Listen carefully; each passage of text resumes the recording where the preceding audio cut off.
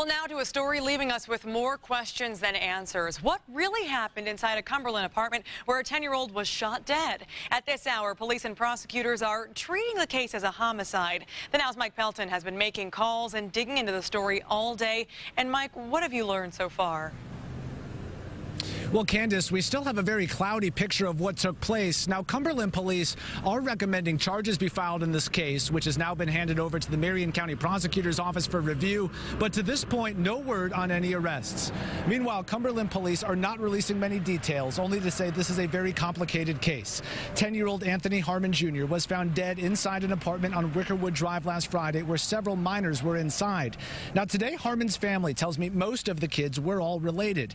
Now, one week after the shooting, authorities still are not saying specifically what they believe took place, only telling us their prime suspect is a juvenile. It's unclear how old.